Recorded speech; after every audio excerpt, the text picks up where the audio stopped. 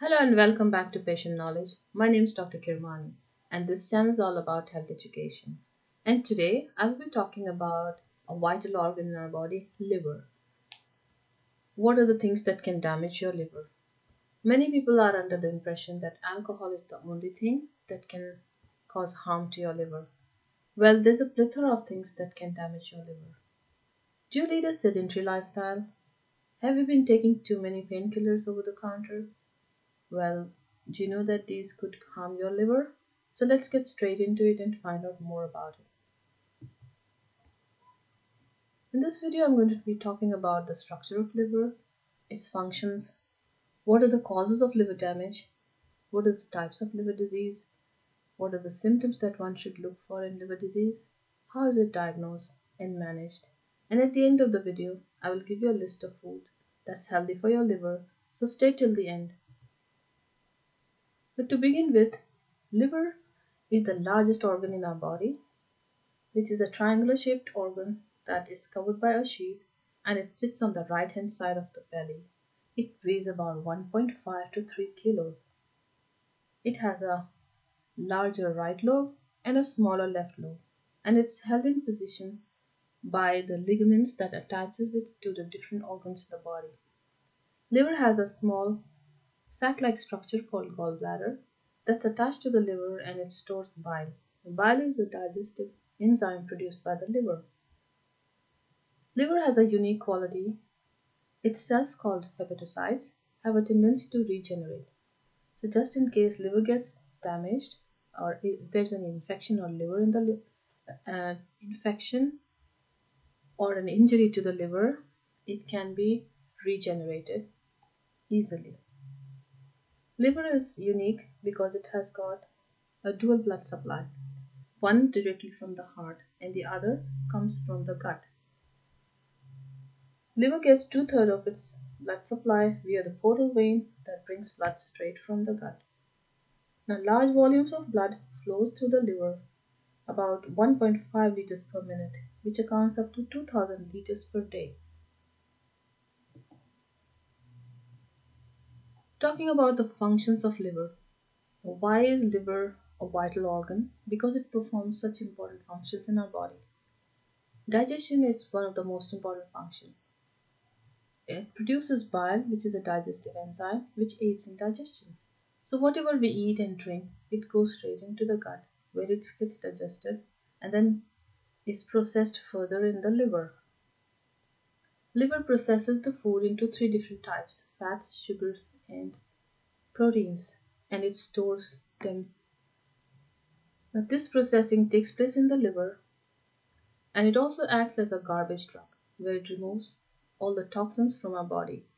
So, alcohol, drugs, and any chemicals leaves any bad toxins in the body are removed by the liver. 75% of cholesterol is also produced by the liver. Liver is the powerhouse of our body since it stores fats, glycogen, proteins, iron, and minerals. It also aids in blood sugar regulation and it helps in protecting our body by producing immune factors. Liver regulates blood clotting as well and it maintains optimum levels of hormones in our body. Many people are under the impression that alcohol is the only thing that can cause damage to the liver. Well, alcohol can damage in two ways. One is directly, another is indirectly by increasing the deposition of fat on the liver.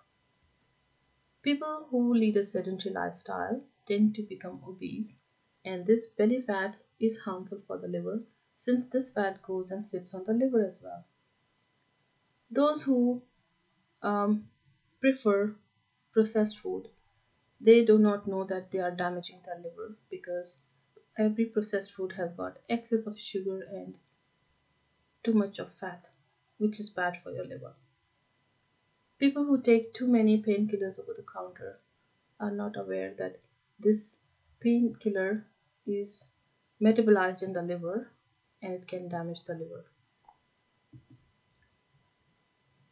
Now, the types of liver diseases it can range from infection to the liver to genetic conditions and excess of fat accumulation on the liver. Namely, there are viral hepatitis, which is caused by hepatitis A, B, and C, fatty liver due to excess accumulation of fat on the liver, alcoholic liver disease caused by too much consumption of fat, non alcoholic fatty liver disease, and NASH, which is non alcoholic steatohepatitis, cancer of liver or hepatoma, and hemochromatosis is a genetic condition where there's a tendency to deposit excess of iron on the liver. Talking about the symptoms of liver disease. Now, before I go into the list of symptoms, I would like to mention that if the liver is damaged only 30 to 40%, it does not produce any symptoms and can function normally. Symptoms appear only when the damage is quite significant, about 60 to 70%. The symptoms can range from excessive tiredness to loss of appetite, which can lead to weight loss, it can also cause nausea, vomiting, and bloating sensation. People with liver disease can experience abdominal pain and swelling of the um, belly. They may develop swelling in the legs and ankles.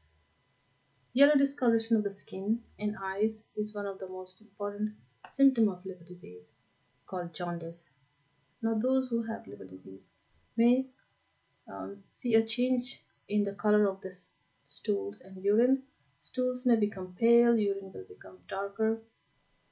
They will complain of itching due to excess production of bilirubin. Some of them will have tendency to bruise. Many people complain of confusion and irritability. Gynecomastia is also reported in people with liver disease. And night blindness is due to low levels of vitamin A in the, in the blood. Now, how can we diagnose any liver disease or any changes in the liver? If you have any of these symptoms or you are having any risk factors, it's time to see your doctor. Now, your doctor will ask you a couple of questions to assess your health condition. Do a physical examination to look for any uh, symptoms and then order some tests. The most specific test would be liver function test, which will show an elevated liver enzymes in the blood, such as ALT and AST. These enzymes are released into the blood when the liver cells are damaged. So, if there's any uh, increased levels of enzymes in the blood, the doctor may order further tests to check the structure of your liver um, by doing ultrasound, CT scan, or MRI.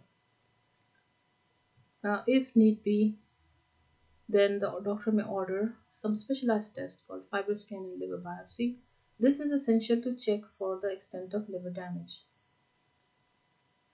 Some people uh, where hepatitis is, is uh, suspected will also undergo serology for hepatitis. It's just a simple blood test where they look for um, any signs of hepatitis. And serum cholesterol is also essential to find out the level of fat in your blood.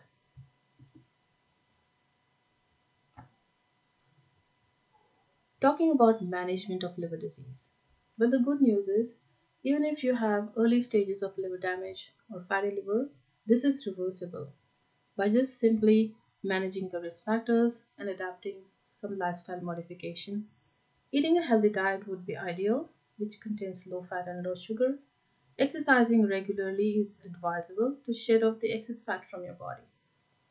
Drinking in moderation and people with high blood pressure and blood, sugar, blood, high blood sugar need to control them through diet, exercise, and medication, and avoid any kind of over the counter painkillers, taking them regularly. Avoid that. Now, talking about the diet, here's a list of food that's good for your liver apples, grapefruit, citrus, blueberries, grapes, avocados, green leafy vegetables, beets, beetroot juice, and carrots. Fatty fish, olive oil, papaya, aloe vera, turmeric and garlic, walnuts. And among the liquids, tea and coffee. Green tea is excellent for your liver. Coconut water is another option, and lemon juice, apple cider vinegar is also healthy for your liver. So include these in your daily diet and protect your liver from any damages. Now that's all for today. I hope this information regarding liver, liver disease, and how we can protect the liver was useful. Thank you for listening. If you wish to hear something about, leave it in the comment box below. Bye for now.